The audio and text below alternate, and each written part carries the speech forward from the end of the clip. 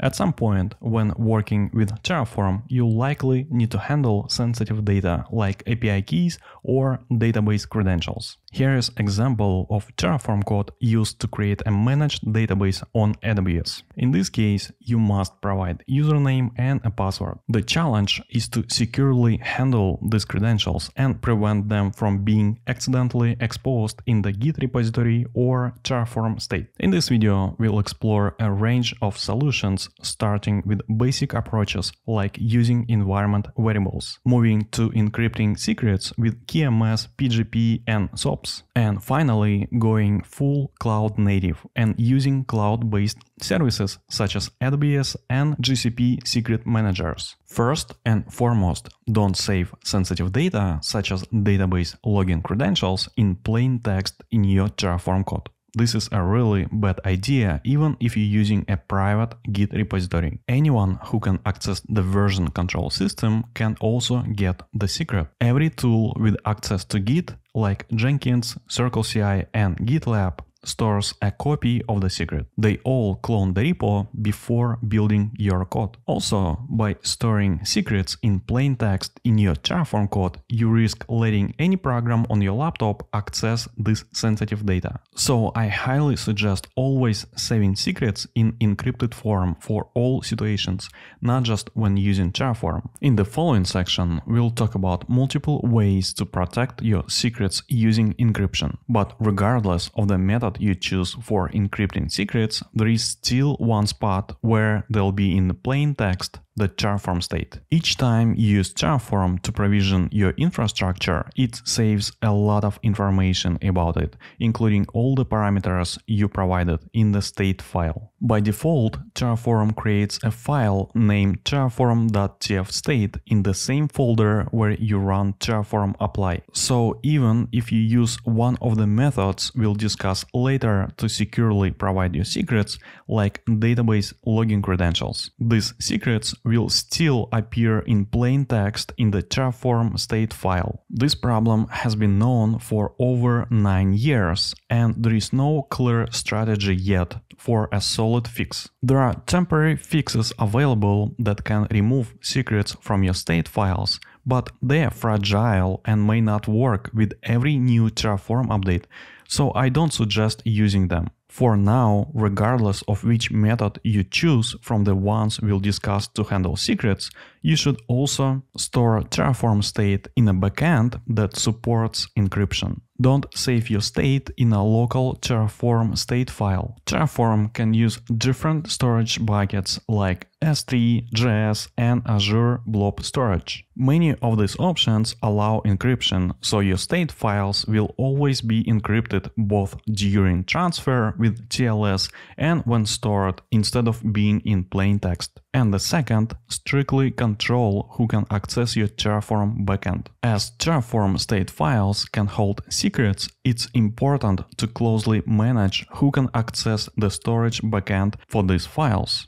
For instance, if you use S3 as your backend, set up IAM policy that allows only a few trusted developers to access the production S3 bucket. Now, let's dive into the different methods you can use to handle secrets with Terraform. This first method keeps plain text secrets out of your code by taking advantage of Terraform's native support for reading environment variables. Let's go through the example. First, we need to create a couple of variables. Let's name the first one username. It will represent the username for the master user and its type should be a string. Additionally, Terraform 0.14 introduced the option to mark variables as sensitive. This feature keeps sensitive information out of your logs, especially during plan or apply actions. The second variable is for the password. Now let's replace the hard-coded values in the RDS resource with the variables we created.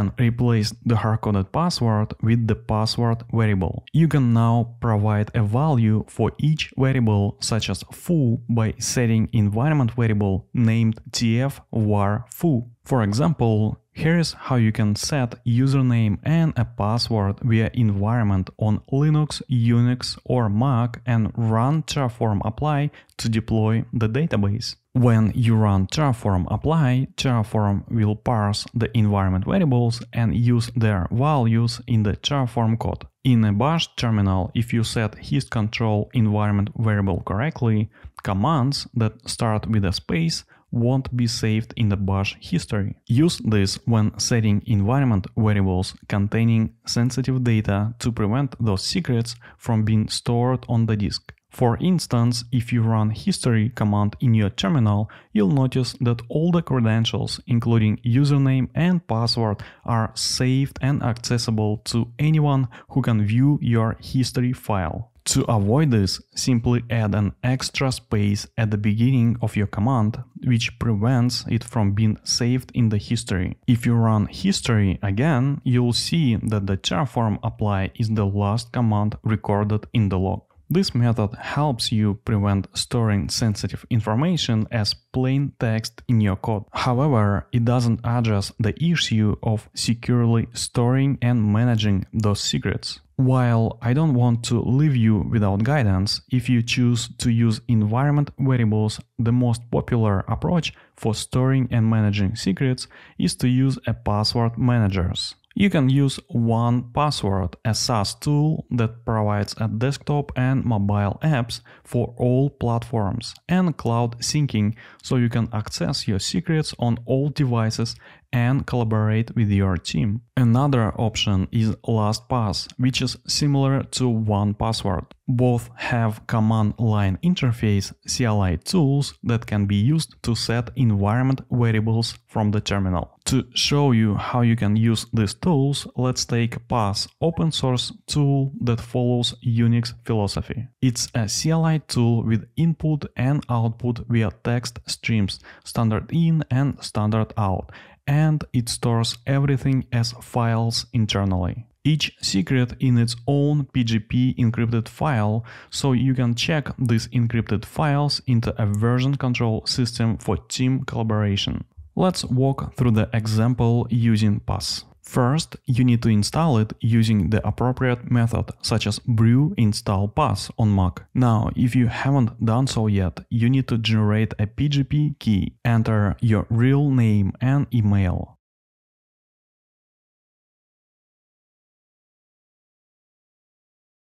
Then enter a passphrase twice to secure your key. This process will generate a key for you. You can also view all your available keys using gpg list keys command. Before using the pass tool, you need to initialize it with the key you just generated. This is one-time setup. To encrypt a secret using pass, use the command pass insert followed by the name of the secret, for example db username. Then enter the value twice. In this example, we'll use root as the username. Next, we'll set a password for the database. For this example, we'll use DevOps123. To get the value for the secret, use pass followed by the variable name. Enter your passphrase and the secret will be displayed in the plain text. Instead of hardcoding the root username as environment variable, we can dynamically use the shell to retrieve the password. If you use LastPass, you would use LPass tool instead. To get the password, we can use the same flow as before. If we attempt to run Terraform now, there should be no changes since we used the same values for the username and password. Here are some advantages of this technique. Keep plain text secrets out of your code and version control system easy solution to get started with. Integrates with most other secret management solutions. For example, if your company already has a way to manage secrets, you can typically find a way to make it work with environment variables. And finally, test friendly as you can easily set the environment variables to mock values. And now the drawbacks to this technique. Not everything is defined in the Terraform code itself. This makes understanding and maintaining the code harder. Everyone using your code has to know to take extra steps to either manually set these environment variables or run wrapper script. No guarantees around security. Since all the secrets management happens outside of Terraform, the code doesn't enforce any security properties and it's possible someone is still managing the secrets in an insecure way, such as storing them in plain text. The second method relies on encrypting secrets storing the ciphertext in a file and checking that file into version control. Here is an example of using a key managed by AWS KMS to secure secret data. First of all, let's copy the part 1 and rename it to part 3. Then create a secret file with your database credentials. This file should not be checked into the version control. I'll use the same username and a password. Next, we need to create AWS KMS key that can be used to encrypt our database credentials file. Let's use symmetric type and keep usage as encrypt and decrypt. Let's call it my key. Select the user that going to be able to use this key and make sure that you use the same user to run Terraform. Now we have created the KMS key. Next, change directory and encrypt the file with AWS KMS command. Make sure that you have CLI installed and default AWS profile. Now we need to replace the key ID to the one we just created. Go back to AWS console and copy the key ID. This command will use the key to encrypt the secret and store it in dbcreds.yaml.encrypted file. This file is secure enough even to be added to the public Git repository. To decrypt the secrets from this file in your Terraform code, you can use the AWS KMS secrets data source. For GCP KMS or Azure Key Vault, you would instead use Google KMS secret or Azure Key Vault secret data sources. Let's go ahead and update the RDS resource. The code above will read dbcreds.yaml.encrypted from the disk and assuming you have permissions to access the corresponding key in KMS, decrypt the content to get back the original YAML. You can parse the YAML as follows. And now you can read the username and password from the YAML and pass them to the AWS DB instance resource. Also replace the password. When you run Terraform apply, Terraform will fetch the KMS key, decrypt the file and use those credentials to create your RDS. SOPS is an open source tool designed to make it easier to edit and work with files that encrypted with AWS KMS, GCP KMS, Azure Key Vault or PGP. Let's go ahead and create part 4 folder. Now I assume you already installed SOPS CLI on your workstation. To create a secret, we can use SOPS and provide the ARN of the KMS key we created earlier. Let's copy it from AWS console and use it here to create dbcreds.yaml file. Let's remove the boilerplate and paste the same username and a password. After you save that file, you can open it in the text editor. This file also does not contain sensitive data and can be safely stored in Git. Next, create a Terragrunt config file. First, we'll use part 2 as a module. Now, you can use SOPS decrypt file function built into Terragrunt to decrypt that file and YAML decode to parse it as YAML. Next, you can pass username and a password as inputs to your Terraform code. That's all, but keep in mind that you need to use Terragrunt wrapper instead to initialize and apply your Terraform code. The final method involves keeping your secrets in a dedicated secret store. This is a database that is designed specifically for securely storing sensitive data and tightly controlling access access to it. To get started using AWS Secrets Manager, first sign in to AWS console and create a new secret. Choose the other secret type and enter the database login credentials in JSON format. Let's call it dbcreds v2. This name will be used in Terraform code. Then click Next and create the secret. In Visual Studio Code, copy part 1 one more time and change its name to part 5.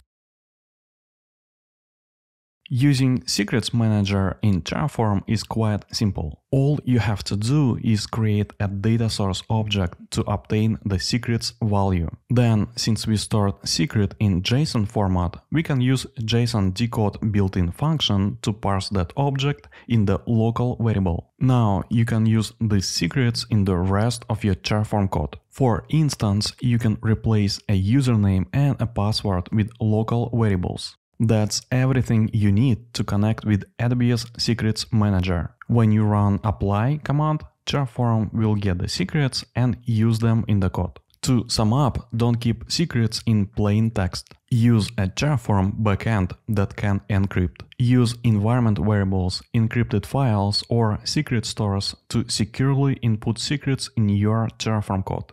Thanks for watching and I'll see you in the next video.